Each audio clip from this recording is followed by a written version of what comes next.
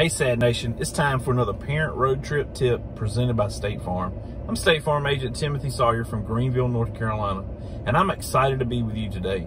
These daily tips help keep parents of three teenagers like me safe as they master the art of driving. Encouraging your teen to wear their seatbelt can be an easy way to stay safe and to also save some money. In states with primary seatbelt laws, the fine ranges from 57 to $200 per seatbelt ticket. Talk to your teen about wearing their seatbelt every time they step into the vehicle and make sure the whole family buckles up consistently. While speaking with your teen about privileges, make it clear to your teen that along with the deadly dangers of not wearing their seatbelt, there are also legal and financial consequences.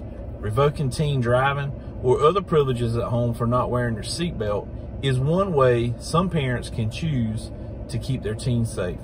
Seatbelts reduce the risk of death in a crash for front seat passengers by about 45%. Yet there are still a significant number of teens who do not consistently wear their seatbelts. Use your knowledge from these parent road trip tips to regularly speak to your teens and ensure that they stay safe and healthy by buckling up. Well, that's all the time we have for now. Be sure to keep watching parent road trips and tips presented by State Farm. And thanks, SADD Nation. Drive safely.